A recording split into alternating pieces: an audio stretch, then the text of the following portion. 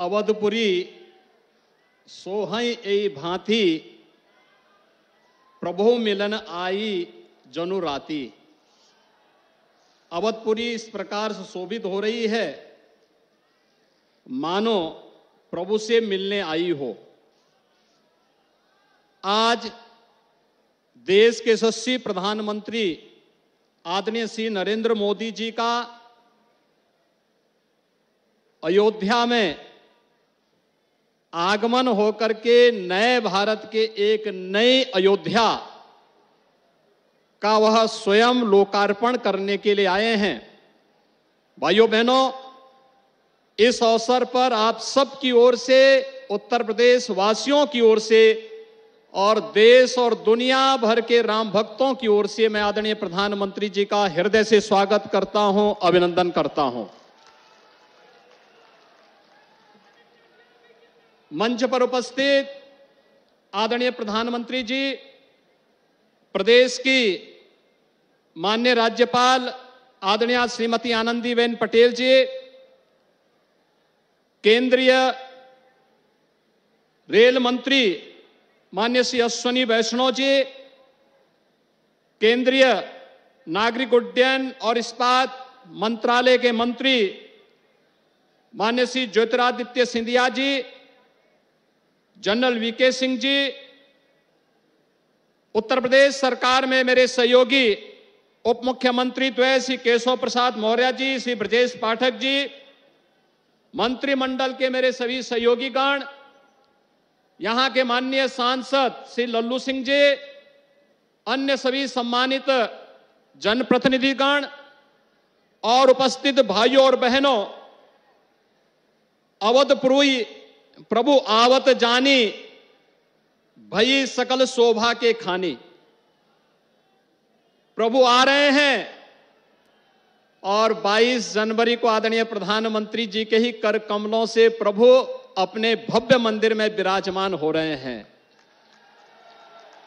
भाइयों बहनों 500 वर्षों का इंतज़ार समाप्त होने जा रहा है। प्रभु के आगमन के पहले प्रधानमंत्री जी का संकल्प था ना, अयोध्या को दुनिया की सुंदरतम नगरी के रूप में स्थापित करेंगे। और भाइयों बहनों आज आपने देखा होगा, जिस भव्यता के साथ प्रधानमंत्री जी का स्वागत अयोध्या वासियों ने किया है एक नए भारत की नई अयोध्या का दर्शन हम सबको कराता है। अयोध्या बेहतरीन फोर लेन, सिक्स लेन और एट लेन की कनेक्टिविटी रोड कनेक्टिविटी से रोड मार्ग से जुड़ा है। इसका उद्घाटन प्रधानमंत्री जी के कर कमलों से भी होने जा रहा है। रेल की बेहतरीन सुविधा अयोध्या से, नए रेलवे स्टेशन के साथ साथ वंदे भारत ट्रेन का शुभारंभ और दो नई ट्रेन अमृत भारत के नाम पर आदरणीय प्रधानमंत्री जी ने अयोध्या को सीतामढ़ी से, प्रभु राम की जन्मभूमि से, माता सीता के प्रकटीकरण के स्थल पर जोड़ने के लिए इस रेल की कार्यक्रम को भी आज शुभारंभ किया है। और साथ साथ भगवान राम तो त्रेता में पुष्पक विमान से अयोध्या आए होंगे।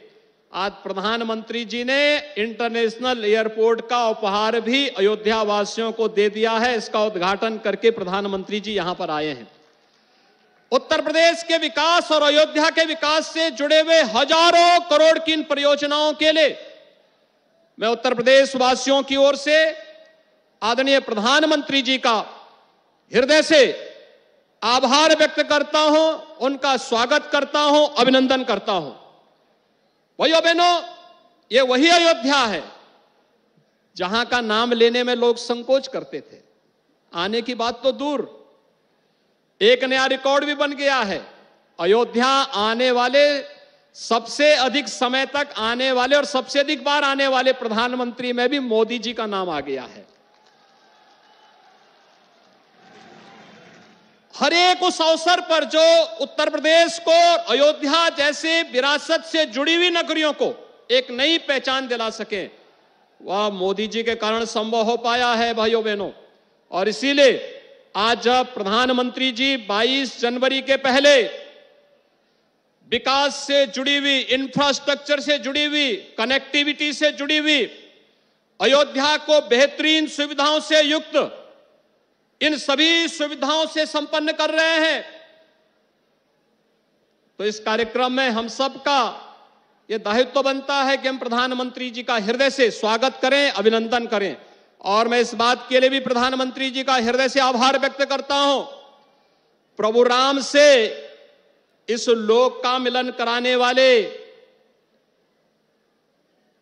त्रिकालदर्शी ऋषि महर्षि वाल्मीकि जी के नाम पर इस अंतर्राष्ट्रीय हवाई अड्डे का नाम प्रधानमंत्री जी ने किया है।